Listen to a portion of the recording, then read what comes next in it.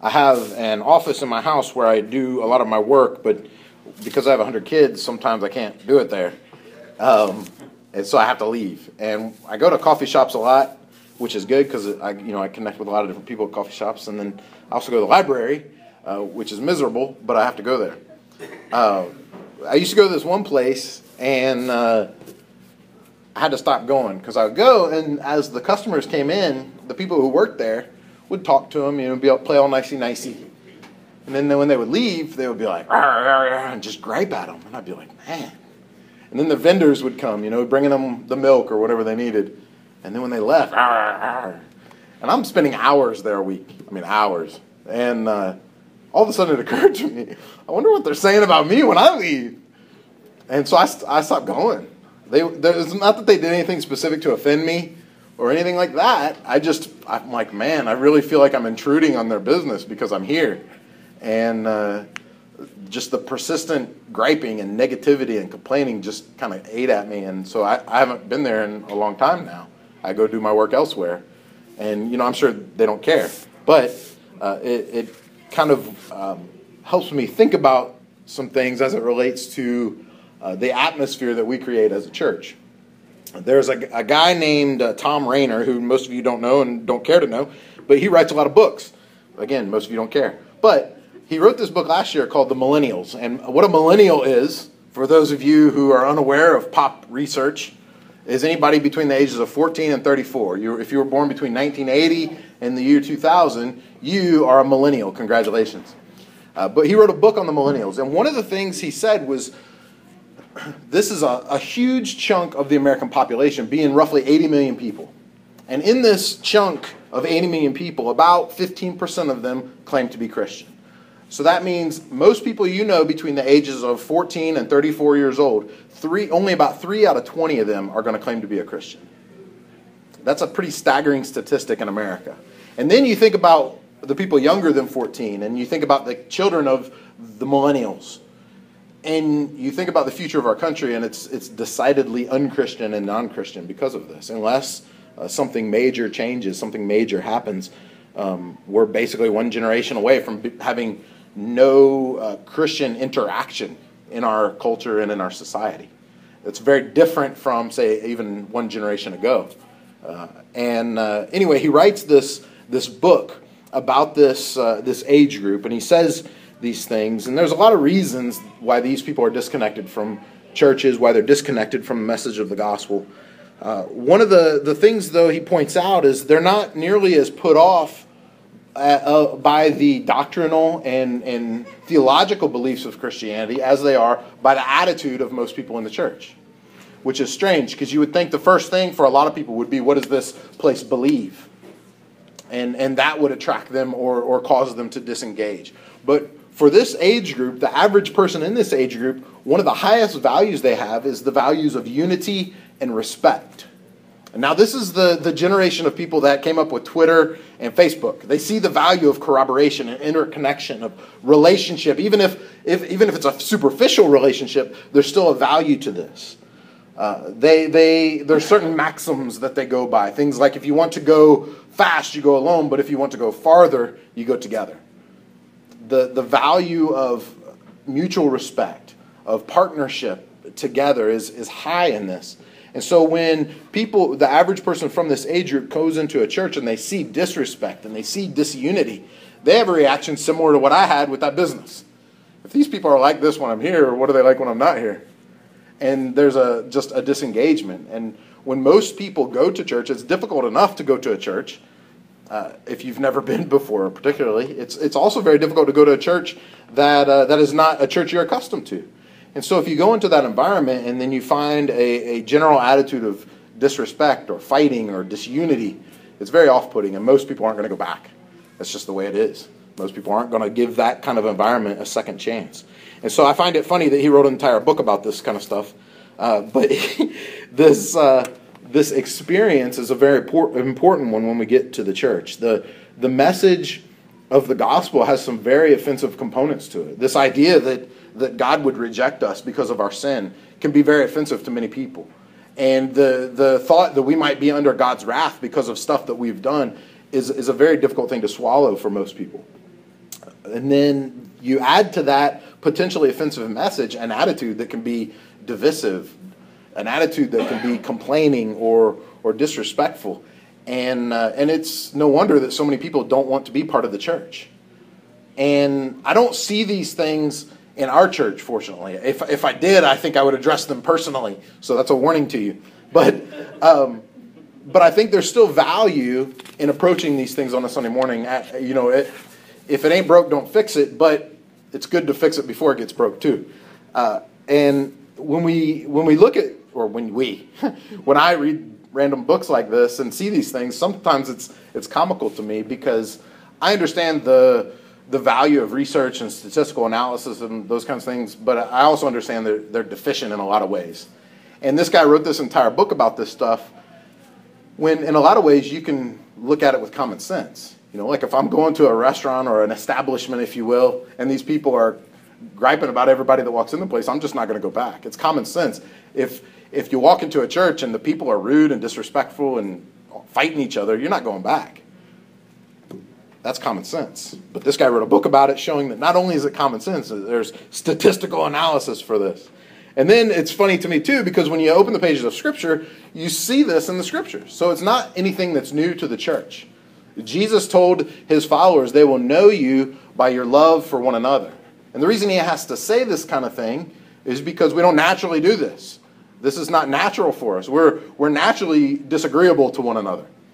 Uh, we, we like the people we like, and we certainly don't like the people we don't like. And uh, another place he says, you know, how easy is it to, for you to love people who already love you? Try loving people who hate you. And, uh, and so the, the nature of the gospel is very different when it comes to this kind of attitude because our desire is to reciprocate love that we are given, not to reciprocate love from hate that we are given.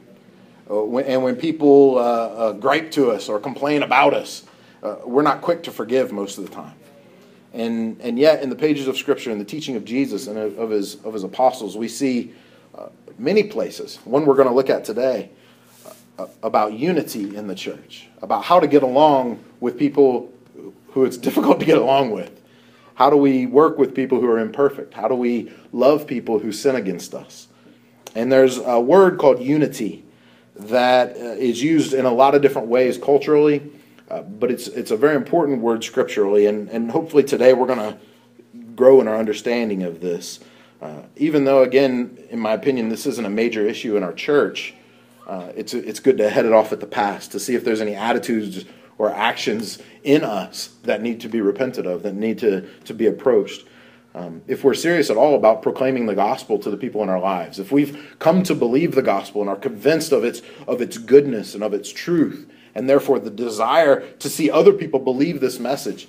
If this is an important thing in our lives, then we have to uh, at least approach it in a, in a position where we understand that it can be offensive. And so we need to not be offensive in our presentation of it. We need to understand that many people are put off by the message, so we have to be very careful not to put them off by our attitudes or by our complaining or by our disrespect. But in the book of Ephesians, the Apostle Paul devotes the whole chapter of chapter 4 to this issue of unity in the church. Getting everybody on the same page, keeping us all as a church on the same page. And we're going to spend this week and next week looking at different aspects of it. It gives us this comprehensive approach on how unity should work in the church. He talks about the virtues or the behaviors that promote it. This, the, then he gives us a confession or doctrinal beliefs that ground it. He gives us gifts that build unity. And then he finishes the chap- chapter 4 with the goal of what is unity for? What is it about? And so let's look at these first two today. Uh, we'll begin reading verses 1 through 3. As we uh, see the virtues that promote unity, he says, I, therefore, prisoner of the Lord, urge you to walk in a manner worthy of the calling to which you have been called, with all humility and gentleness, with patience, bearing with one another in love eager to maintain the unity of the Spirit in the bond of peace.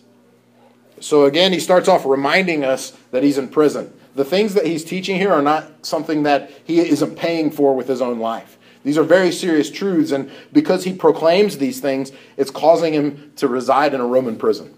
He, he's writing these things to a church who's in, in great need of instruction on how the gospel is supposed to work in their context. And it's such a serious issue that he takes uh, he takes the time from a prison cell to write these things. And so it's, it's a, there's a, a gravity to this, there's weight to this message that he's saying. But he says the basic way here that we promote unity within the church is to walk worthy of our calling, to be worthy of that which we've been called to, namely Christ. And this word walk is used figuratively, of course, and it points to the way in which we live our lives, the general direction of our lives.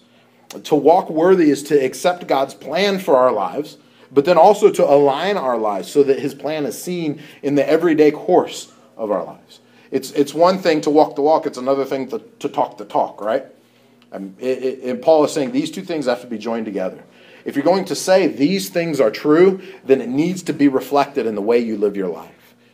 And, and this is of the very uh, most basic nature of how the gospel begins to apply in all the situations and relationships of our lives.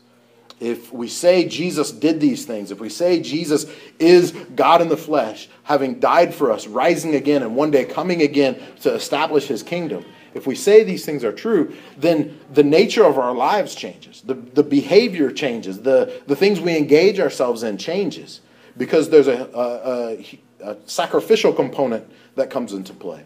There's an ultimate destination component that comes into play. All the different facets of what makes the gospel the gospel have different ways of applying in our lives and in our church. And Paul and the other New Testament writers go to great lengths throughout the New Testament to show how these things work, not just individually, but as a collective in the church. And so he starts out saying, when we walk worthy of this calling, there's some behaviors, there's some virtues that are a great place to start. And we'll get over these, uh, we'll get there over the next couple of weeks, over the next couple of chapters. He goes into lots of detail. But here he starts in verse 2 uh, with a list that's by no means exhaustive, but an excellent place to start nonetheless. And he says that if we're going to walk worthy of the calling of Christ, we need to grow in humility. We need to grow in gentleness and in patience, and then our ability to bear with one another lovingly. Now, that's not an exhaustive list, but I think probably for most of us, if we could get that down, there would be a huge change in our lives. If we could learn to be humble, if we could learn to be gentle, and that, that word can have a different connotation in your mind, so I'll explain it here in a second. But if we can learn some of these things, just these few things here, uh, the course of our lives will change radically. And so there's a, an understanding of the gospel, who Jesus is, what Jesus has done for us, and one day what he will do for us, what he is doing for us now by the Holy Spirit working in our lives. And these behaviors are components of that. And so it's not like he's saying learn to be humble and then you'll you'll reflect Christ. He's saying when we reflect Christ, we'll learn to be humble. There's you got to keep the cart and the horse in the proper positions. The, the horse is first, right? You don't put the cart first, so it dumps over and the potatoes go everywhere. But this is what Paul is saying. There's yeah, potatoes. Uh, there's a way to do these things. It's not moralism. He's not saying if you learn to live properly, God will accept you. That's not what he's saying. There's a, there's a miscommunication in many religions about this. If we learn to live the right way, God might accept us. That's not Christianity, and that's not what Paul is saying here. You don't find that message in the New Testament. What he's saying here is because of the calling that God has on our lives, the people that he's making us, these things should be reflected. And it's good to identify these things because often we can see when they're not present in either either in our lives or the lives of other people. We see when a person or when our when we ourselves are not humble or when we're not gentle, when we when we don't practice patience and when we don't bear with other people in love. We we see when these things don't happen. And so he's saying when we understand the gospel, when we grow in Christ, these things become part of our lives. Humility is, of course, putting others before ourselves. It, it, there, in this context, though, it's, it has a lot more to do with what we say necessar- than necessarily what we do. And so we talk about other people, we talk about uh, the qualities we see in other people more than we talk about our own qualities, is what he's saying. We have a habit of, of talking about ourselves, or do we have a habit of talking about other people in a positive way? And he's saying humility is a, a heart desire where we recognize the value and worth of other people, and that comes out in the way we speak. And then gentleness, he adds to that. They're, they're kind of two sides of the same coin. Gentleness, in other contexts, is also translated humility. But here he, he's talking about uh, what we do and our actions, where we assert ourselves or don't assert ourselves. Humility is a way of either asserting ourselves properly or refusing to assert ourselves improperly. And so these two things work together. In the way we present ourselves in a crowd, namely the church, when we walk into the church and with the words we say, what, what kind of attitude and presence exudes us. Paul is saying a person who is living worthy of the calling that Christ has on their lives, when they enter a room, there's an air of humility. There, there's an air of, of putting others before ourselves. And this is something that the Spirit of God works within us naturally. And it's a great thing to see in the lives of other people. Then he takes the other two things, patience and bearing with one another. These are kind of the opposite, these are responsive. And so he's saying when you walk into a room, it should be a, a, an attitude of humility, an attitude of otherness rather than self being presented. But then he says when you're already in that room and somebody walks in the door and they're presenting themselves first, and out of their mouths comes all kinds of stuff about themselves, he's saying your reaction to that is to be what?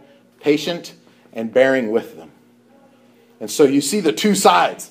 It's, it's me presenting myself and then also me reacting to each of you. And it's you presenting yourselves and then reacting to me. And so when I come across in an arrogant manner, you're patient with me and you bear with me in love, right? That last word there is the kicker love. That's the, the overarching virtue in all of New Testament ethics and behaviors. Love rules the day. And here he says the reason why we would present ourselves this way the reason why we would respond to others who don't present themselves that way is because of the love that God has for us in Jesus Christ. And that causes us to begin to live differently. And so these virtues, these values, these behaviors grow in our lives. And so over the course of the months and years of our lives as we follow Christ, we grow in humility. We grow in, in gentleness or in, in, in both our, our humility in action and our humility in words. We grow in our ability to respond to people who aren't humble in a more Christ like manner. And Paul is saying these things are the basic virtues of what it means to maintain unity in the church. Because there are going to be times when you and I present ourselves arrogantly. You and I come into a room with great pride in self rather than pride in Christ. We're going to think we've accomplished something in regards to our spiritual condition. We've managed to avoid a certain sin or we've managed to, to do a, a certain righteous act, and we're going to present ourselves in a way that we're looking for praise from other people. Uh, Paul is saying when that happens, not only do we need to repent because it's divisive to the church, but also the church needs to respond with patience and with bearing with us, being, being supportive of us, even though we're not exactly living or acting the way we should. And uh, this is what it means to walk worthy of this calling, to know what Christ has done for us, and to respond in our lives properly. When others annoy us because of their sin, uh, we're patient with them. Uh, when we annoy others because of our sin, uh, we learn humility, we learn gentleness, we learn how to present ourselves properly. And these things take time. We all go through uh, experiences and phases that either cause us to be more arrogant or cause us to be more humble. And all of us at various points in life are going to err on one side or the other. So these are behaviors that are learned, but they're not learned by ourselves. If you spend enough time by yourself, you're going to be very arrogant. Uh, part of being in community as the church is to learn humility, not for humility's sake, but for Christ's sake. Because when we're able to live humbly, it teaches us something about who Christ is and what Christ has done for us. And so he gives us these virtues, these behaviors that, that uh, are for unity, but then he also shows us that these things are to facilitate the work of God's Spirit in the church. In verse 3, it's the Spirit that creates unity in the church.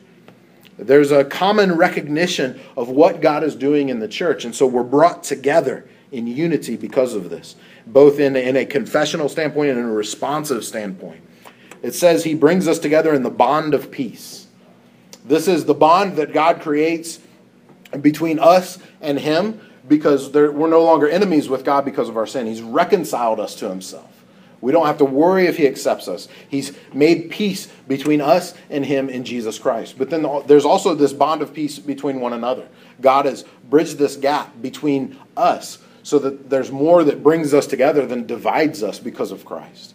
And when we have the issues of sin between us, the bond of peace causes us to, to continue along in relationship, to, to continue to look for restoration and repentance because, and forgiveness uh, because we've been reconciled to God, both of us. When both sides are reconciled to God, we know that we're going to spend eternity together, so we may as well figure it out now.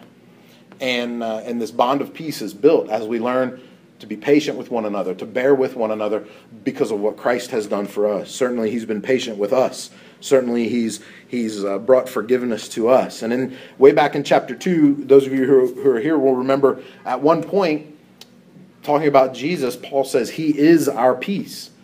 It's Jesus Himself that is our peace. And so, as we respond to the, to the work that He's done in our lives individually, the collective response, then, the response of the church, is to find peace with one another, to, to not let divisive things come in, to not let uh, sin enter in and, and cause division in the church, but rather to continue to seek reconciliation because of what Jesus has done. We don't have to hold grudges. We don't have to hold sin against one another because Jesus has forgiven it, and so we can learn to forgive it as well. And so there's this bond of peace between us and God because of Christ. There's also a bond of peace between fellow believers because God has reconciled us both in Christ. And now, peace is a lack of conflict, but it's also the way that God designed life to work. This word peace means a big picture. It's not just that there's no longer war, it's things are ordered properly, life is lived properly. And as we personally grow in our walking worthy of Christ, walking worthy of our calling, we grow together in the church and we learn to live together in this way of peace, how God designed life to work. The community of Christ, the kingdom of God, people living properly together with love as the law. This peace that rules over us is, is to be an example to the whole world looking on. That when we learn to forgive one another and bear with one another, even though we're very, very different in the church, it's, it's a testimony to an onlooking world what Christ has done for us in bringing us peace. The church is, is supposed to be a microcosm of the life God intended his people to live and the life that God will one day bring to all of us. But Christianity can't be lived in a vacuum. Uh, it takes us. It's an us religion, not an I religion. We need to come together as the church. And if we stop pursuing Christ, it affects the whole church body it, it opens up an opportunity for spiritual damage and division if one person in the body stops walking worthy or, or decides to not walk worthy of the calling that we have. But when we come together and we pursue this, the growth and the great things that God does in us is staggering. And so, if, if one of those things isn't enough to convince us to pursue Christ, hopefully the other one is. It's not just me by myself walking worthy of Christ, it's us walking worthy of Christ together. It takes us both, it takes us all. Christianity isn't a religion for people to live alone. We need to live it in community. And so let's encourage one another to grow in these ways. Um, it's, it's, of course, when somebody else is arrogant, it's very easy just to point out their arrogance. uh, and, and there may be a time and a place for that. But those things also need to happen in the context of relationship. People you don't know don't like you pointing out their sin. Uh, if you don't know me, don't come up to me and tell me I'm a glutton. All right? You don't know me let's talk. Let's have coffee. Let's let's. You can buy me a piece of pie, and then we'll talk about it. But uh, there's there's uh, there's a point, not just in our culture, but within the church, where we have accountability and we have judging. And the way to bridge that gap is through relationship. And when we truly know one another, as as Paul is commending here, that we have this bond of peace because of the love of Christ then it opens up our relationship so that we can then speak this truth into one another's lives so that we move on. We move to that higher plane of living, that, that next way of life that God is calling us to. And so we begin to, uh, to help one another nourish and facilitate that new life that God is calling us to. But it happens in the context of relationship. Let's encourage one another in these ways. Uh, in, in the next few verses, in verses 4 through 6, after he gives us these basic virtues that promote unity in the church, in verses 4 through 6, he gives us a confession that grounds unity in the church, or, or doctrinal beliefs, a statement of doctrinal matters that ground the unity of the church. Christianity is grounded upon common beliefs. Uh, and he mentions many of these things here. he says, There is one body and one spirit, just as you were called to the one hope that belongs to your call one Lord, one faith, one baptism, one God and Father of all, who is over all and through all and in all. There's some scholars that believe this was a type of confession that when early in the early church, when believers would go to be baptized, this is a statement that they would make. that I believe these things, and so that makes me doctrinally aligned with the church. Therefore, I can now go through the waters of baptism to become physically aligned with the church. But what he's showing here is that as the Spirit applies the peace of Christ to the church in unity amongst us, he also binds us together by leading us into God's truth. The peace of Christ is applied to our relationships in the, in, in the church, but then the Holy Spirit also leads us into the same truth in the church. There's behavioral and there's doctrinal matters that we need to be unified on. And Paul gives us a great example of these things. Uh, we're bound together in the actions of love, but we're also bound together in the doctrine of truth. And so he gives seven components of doctrine. Seven. That's a lot. But he grounds us on these things. And believe it or not, this is pretty minimalist. Uh, this is a, a very small cross section of, of Christian doctrine. Um, so, whether or not this was like an early Christian confession that Paul then adopts and, and presents as, as valuable for instruction, or if he creates this and then it's later adopted, it, it's still of great value to us. And there's a component of unity here that Christians everywhere should be able to agree on these things. And let's, let's just go through them real quick. He says that there's one body. Here he's referring to the body of Christ, the church. And he spent the last couple of chapters talking about how Jews and non Jews were divided in the church, and now because of Christ, they need to come together. And so when he says that there's one body, he's talking about whatever race you're from, whatever country you're from, whatever your background is. Anyone who comes to Christ is made part of this one body. And Christians have always believed that although there are different expressions of the church, although there are different local gatherings of the church, there's one universal church, and it's the body of Christ. Uh, it's been in the early confessions, like the Apostles' Creed, it's called the Holy Catholic Church, and it's Catholic with a big C which means universal. Not the denomination Catholic, but all Christians everywhere who come to Christ are part of this one body known as the church. Then he says there's one Spirit. He's obviously talking about the Holy Spirit here. He indwells believers. He fills the church. He, as we've already talked about, he leads the, tr- the church in unity because of the, the bond of peace that Christ has given us. He also leads the church in truth, in doctrinal matters. He, he's given to us at the moment of salvation in the church as his temple where he resides. There's one Spirit, there's one hope. We have one hope in Christ. Apart from Jesus, there's no reason why we would expect to have forgiveness or resurrection or, or anything else in Him. But in Him and only in Him do we have hope. And so when we're called to repent of our sin, to turn from our sin, to believe in Jesus, from that moment onward, we're filled with this one hope that we have in Christ. And related to that is the fourth thing we have one Lord. Jesus is Lord. In the early church, to say that Jesus was Lord was treason because there was one other man who claimed to be Lord. His name was Caesar. And so many Christians who made this confession, Jesus is Lord, uh, paid for it with their lives in martyrdom. There's one Lord, Jesus Christ. There's one faith. Faith in Christ alone can bring us access to God and salvation. There's one baptism. Uh, this, even though it says there's one baptism, people interpret it different ways but there's still one baptism because this is what the Apostle Paul says. Uh, so some people say this is spirit baptism. In other words, this is when we come to Christ, when we accept the forgiveness and the gospel, uh, we're filled with the Holy Spirit. And some people say this is what it's talking about. Others, and this is where I fall, believe that he's talking about the purpose of baptism. We're baptized in the name of the Father and the Son and the Holy Spirit. We're, we're, there's one baptism as entry into the church. When we're baptized, we, in, we become part of the church. It's the entry rite. And so we make our confession of Jesus' lordship in our lives. And then the baptism ceremony demonstrates that, and we're joined to the church. And then finally, he says there's one God. In the New Testament world, there were claims to be many gods. Again, Caesar himself claimed to be God. And even in our day, there are other religions, religions like Hinduism, that claim to have many gods, but Christianity is very different.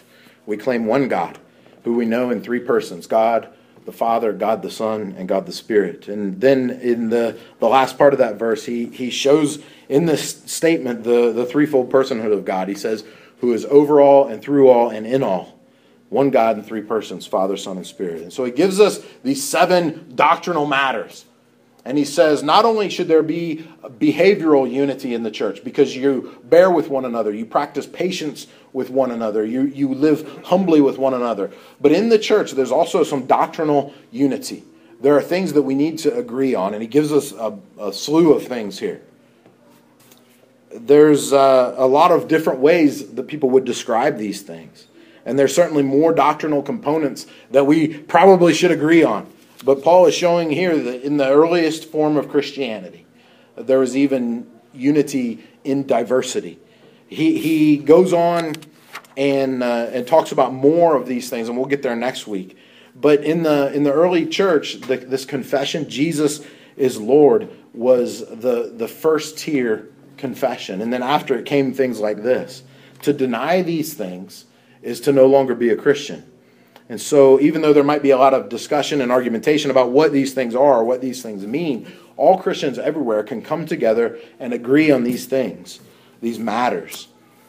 Uh, one of the main aspects of this is its exclusivity. Uh, before each one of these seven things is the number one. And this is what, and it probably has always made Christianity difficult in this regard. But in our day and age, this is a very difficult thing. And for me personally, this is a very difficult thing. That when we affirm the truth of Christianity, when we affirm Christ's lordship in our lives, when we affirm that there's one God and Father of our Lord Jesus Christ, then by nature, all other religions are excluded. If there's one truth, then all other truths then become false truths. If there's one faith, all other faiths then become false faiths. If there's one hope, then all other hopes are false hopes. If there's one Lord, then there are no other Lords. And so, even though Christianity is very open when it comes to anyone, no matter your background, no matter your beginnings, your race, your country, anything, it's open to anyone who would come to Christ. It's also very exclusive because it requires everyone to come to Christ. And so Paul lists these seven things here, and we would, we, you know, we might go around and around about what he means by different things about the body and about the baptism and those kinds of things. But he continually affirms that there is one. And there's other places in the New Testament that affirm these things. And this is a very difficult thing in our culture and in our day. Because to say that Christ is the only way, as he does in John chapter 14, is to be viewed as very bigoted and very unloving and very narrow minded um, and very hate filled. But I'm, conv- I'm convinced of the oneness of the Christian way. Uh, I see no other way. If, there, if Christ is one Lord, then there, are, there can be no other Lords. And there's, there's some, some different ways to approach this. You know, there are people that say there are many gods. Well, if Christ is God, then there can't be other gods. If there are many ways and Christ says he's the only way, then there can't be many ways. So to affirm Christianity is to, uh, by default, uh, deny every other way, deny every other religion, and, and proclaim all other truths as not ultimate, but false. Uh, Christianity is difficult in this way. As I started out mentioning, Christianity can be offensive enough in its basic message and its basic component of, of doctrinal beliefs. To affirm Christ is to deny everything else because Christianity is vastly different from the other world religions. It's even in these uh, seven simple things that Paul lays out here, it's very different from Islam and Judaism and Hinduism and Buddhism, just in these things. And so this is something that we all have to come to terms with. And I know it's a difficult thing because of what it means by default. To affirm Christ is to deny everything else. Uh, and that's a very difficult thing. Um, but God presents himself in this way all throughout the scriptures. Even in the Old Testament, the, the Jews were continually uh, called to worship their one God. This has always been the way of God's people. That there's lots of temptation to look to other religions and look to other gods and try to accept these things. But there's a continual calling to affirm the one God and the one way. And it doesn't make it easy, it doesn't make it fun or, or even nice, uh, but I'm convinced of its truth.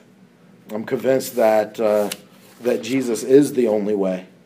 And, and as difficult as it is, um, th- therefore I have to deny that other ways uh, ultimately lead to God.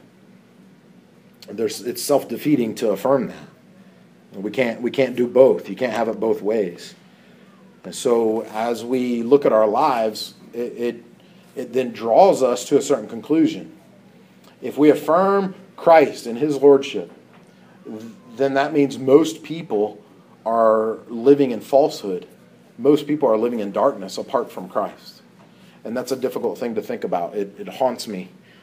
Um, and this is why I find great hope in the providence of God, because He's put people in my life, He's put people in your life, uh, and given us a responsibility to make sure they have the gospel available to them. Um, this is why we started a church. If these things aren't true, then there's no need to have another church. And this, the purpose of the church is to make sure people have an opportunity to hear the gospel. Because all of us, all people everywhere, are in desperate, desperate need of it. And it doesn't put us on a higher moral plane because we've come to the knowledge of it. It just means that there's poison in our blood and we found an antidote. And we need to share that. So, who is it in your life that God has placed there and entrusted to you to make sure they have access to the gospel? As a church, we partner uh, with missionaries, and we're continuing to do that to make sure we're doing as much as we can worldwide to proclaim this message to people who haven't had access to it. But we do this here too. In just the way we generally live our lives, the people we work with, and our neighbors, and people we interact with at restaurants and different places throughout the week. And God, in His providence, brings people into our lives so that we would have an opportunity to present the gospel to them. Uh, this takes relationship, it takes quiet service and action, it takes persistent prayer but it also takes bold statements for people to know their need for Jesus. And who is this in your life? Who has God placed in your life that needs to know Christ? It's too an important matter to not do, even if we run the risk of being accused of being narrow minded or bigoted or any of those things or judgmental. Uh, there's a way to do it in the context of relationship where it minimizes those things. Uh, but we, we've been entrusted with this message and part of walking worthy of our calling is making sure the people that God has brought into our lives by His providence have an opportunity to hear this message. So, who is it that you're praying for? Who is it that you're serving? Who is it that you speak the gospel to? We all have those people in our lives, and uh, and God has called us to share the gospel with them. Maybe as I've been talking this morning uh, and you, you're thinking through these things, you've realized that you've never confessed Jesus as your Lord. Maybe you've never come to a point in your life where you've asked God to forgive you because of what Christ has done and, and, and sought to be reconciled with Him, to find that peace that God offers us in Jesus Christ. And today I would extend that offer to you to hear the gospel that Jesus has forgiven us because of his work is one thing, but it's something completely different to actually receive the gospel and let that truth come into your life. And so, if you've never done that, I encourage you to open your heart to the things of God this morning. Would you pray with me? If you've never asked uh, Jesus to come into your life and to be your Lord, uh, it's as simple as, uh, as speaking a simple prayer to God and, and saying, God, I've done things my own ways long enough, I realize my need for you. And I want to open my heart to you today. Please be my Lord and forgive me. And lead me into life with you. Help me to walk worthy of this calling to which you've called me. I'd love to talk more about uh, more about that with you if uh, if you'd like. I'm available afterward, or but you can even call me or email me, and we can get together. But don't put this decision off. Maybe that's the only reason God brought you here today. So that you would hear this message of the gospel and respond to it in obedience and make Christ your Lord and live life with Him forever. For the rest of us, there's, uh, there's people in our lives that God has placed there. And we have opportunities to be uh, the mouthpiece of God and speak the gospel into their lives. Pray for boldness in those relationships and pray for those people to turn to Christ. Father, we thank you for your word given to us. Thank you, Lord, that you give us instruction on how we're to live before you, that we're to walk in humility and gentleness and patience, bearing with one another in love. We know when we don't walk this way. So, God, help us to respond to you obediently, knowing you're leading us into a better way of life in Christ. And God, as we have opportunity to speak the gospel to our friends and neighbors and coworkers and the other people you bring into our lives, help us to be obedient in that regard too.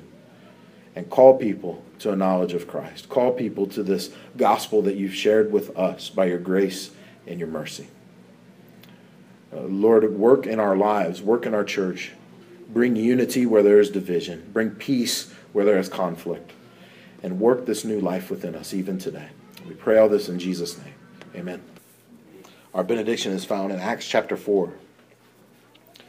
then Peter, filled with the Holy Spirit, said to them, Rulers of the people and elders, if we are being examined today concerning a good deed done to a crippled man, by what means by what means this man has been healed, let it be known to all of you and to all the people of Israel that by the name of Jesus Christ of Nazareth, whom you crucified, whom God raised from the dead, by him this man is standing before you well. This Jesus is the stone that was rejected by you, the builders, which has become the cornerstone. And there is salvation in no one else, for there is no other name under heaven given among men by which we must be saved. Now, when they saw the boldness of Peter and John, and perceived that they were uneducated, common men, they were astonished, and they recognized that they had been with Jesus. Our message can be offensive, it can be a difficult thing to proclaim. But people know if we've been with Jesus. People know if our hearts are right with God. It's obvious. People know this. Just like in the context of scriptures, these people were proclaiming that the people standing before them had crucified Christ. They had actually, not figuratively, actually crucified Christ. A very offensive thing to say to, to the rulers of their people. But what, what is their response? They're amazed because they knew that these men had been with Christ. The, the nature of unity in the church is all based on this. Have you been with Christ? The, the way that we know we can respond to one another properly is by making sure we've been with Christ, that we know Him personally. Do you know Him today? I pray that you do, and that we walk together worthy of His name. Amen. Amen. God bless you. Good to see everybody. Hope to see you next week.